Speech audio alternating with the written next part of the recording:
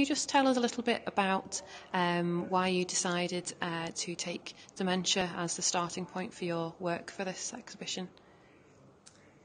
Um, as an artist, I draw, and drawing is everything as a start.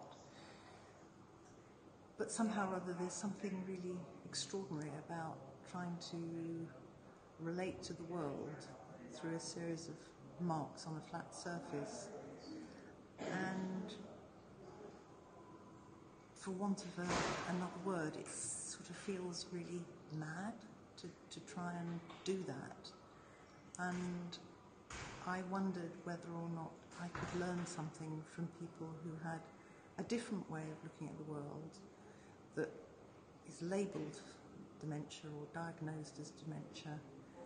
And in having those exchanges with people, I've learnt so much. It's been a massive privilege.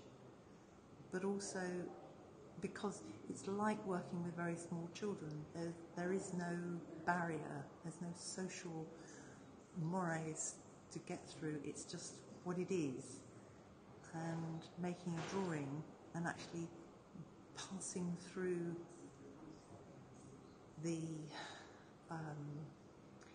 all the kind of endeavour to make a picture is a real life's work that we're constantly trying to push to get at something that's the essence of what